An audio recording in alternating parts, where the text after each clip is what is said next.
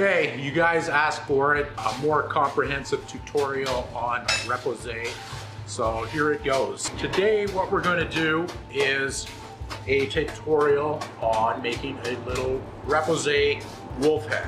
So I've gone ahead and I went on to Google and I pulled up some clip art for different wolf heads. And I got this one, it seemed to be my winner, but I got a whole pile of different references which I'm going to use as I sculpt out my 3D because these are all just two-dimensional stylized um, references and from there I want to see if I can just kind of uh, evolve my own particular wolf head out of that.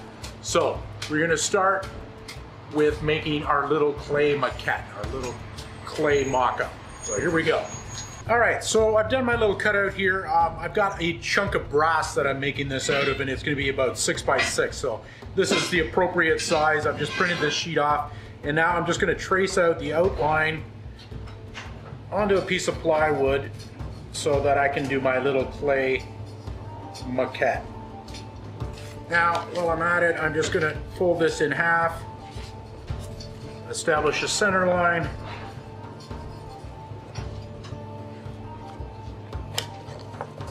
that just gives a useful reference point. So now we're gonna get into the clay.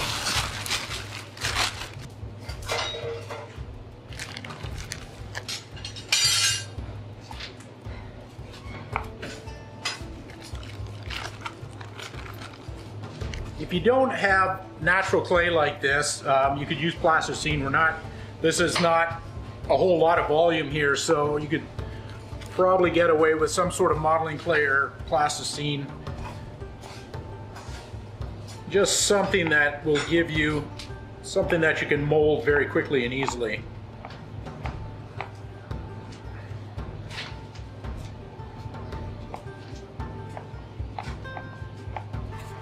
First off, I'm going to just scribe the center line. And now the sculpting begins. Eyeballs go there. I'm just going to put them in right off the bat to kind of give me a landmark to work with.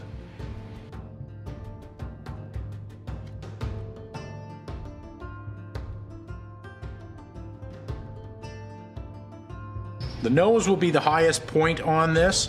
Um, doing a sculpture like this, where look from the side, if it was in full 3D, it's going to have a long nose coming out. But what we're doing is something that is foreshortened or um, what's called relief, um, where we need to create the illusion of full 3D by not going quite full depth. So it's just, it's kind of a trick of the eye and it's a little bit tricky for a beginner sometimes to try to get their head around what they're trying to achieve. But basically this thing is going to be looked at from straight on. So we're just trying to create the illusion that it's 3D, getting enough depth to do that, but not any more than that. We don't want sticking out um, a full four or five inches. We want the, the whole thing to be maybe only an inch and a half um, at full depth.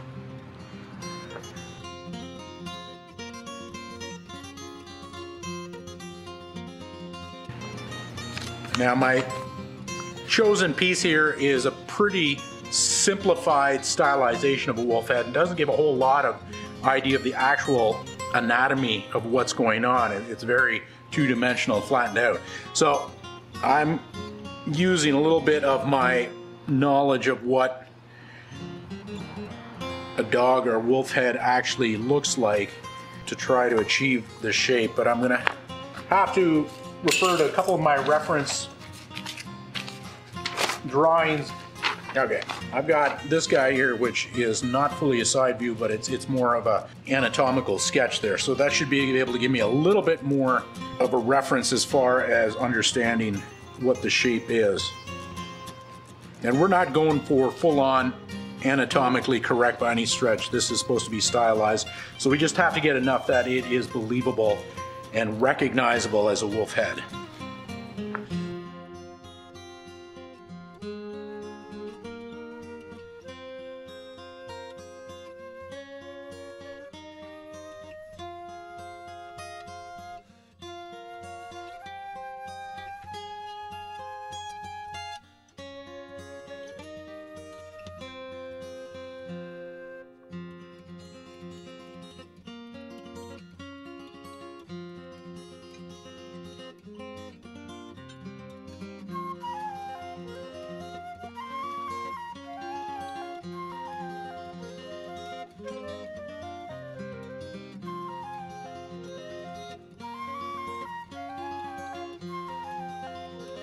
10 minutes later, that's what I've come up with. So this is pretty crude by my standards, but um, I just want to illustrate we don't really need to have anything really too uh, precise or even that detailed.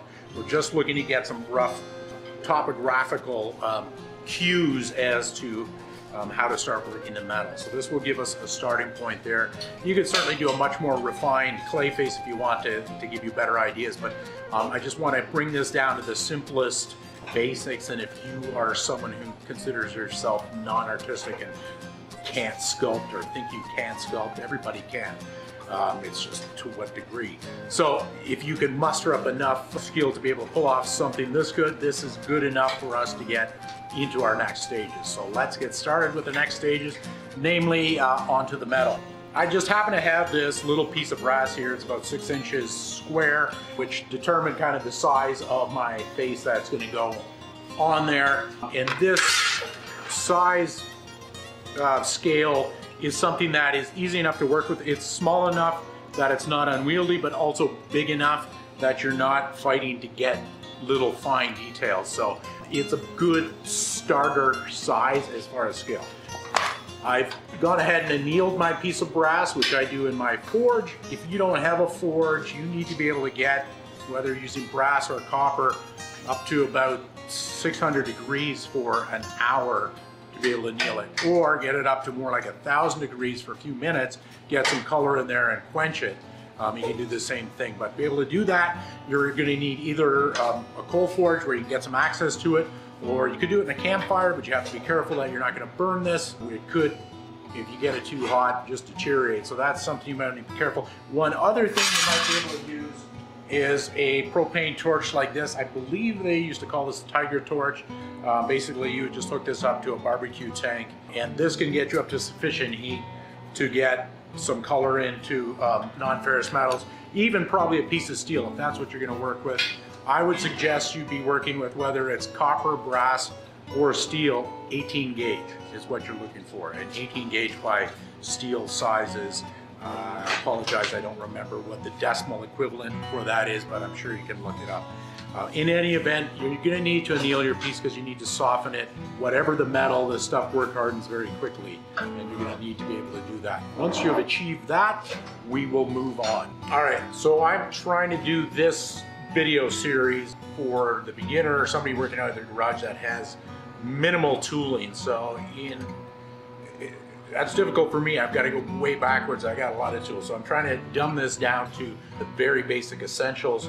A sandbag, I think, is something that you need. I've got, I use my shot bag with lead shot being better um, displacer than sand, but sand does work. So I came up with an idea for a sandbag using old pair of jeans where basically you cut off a leg, use some of these zip ties, and make kind of like a little wrapped up bag, and this is just full of sand. So there is sandbag where you'll be able to dish some of your metal into. Um, in addition to that, what you're gonna need is a couple of hammers.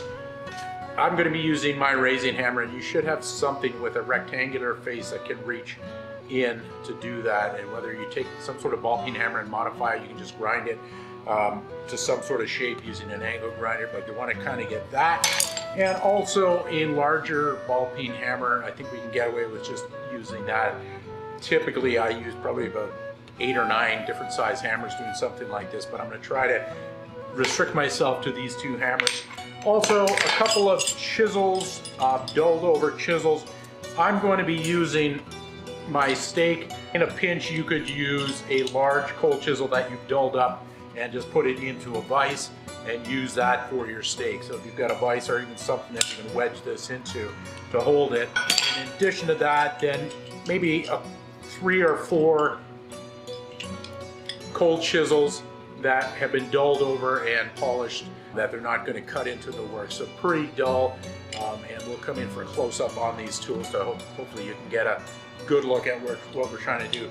That is basically going to be our toolkit. In addition to that, I'm probably going to be working over my block of wood here, which just fits into my table. But essentially any piece of hardwood that can get sanded over and create a little bit of a dome is a nice platform to work into. I've also done it um, occasionally with just like a sledgehammer handle in the vise and just something to work onto that. But you should be able to find some chunk of wood that you can just kind of dome over a little bit. Makes a great working surface. So see if you can scare up those tools and then join us in the next video and we're gonna get started with this. So back out, see ya.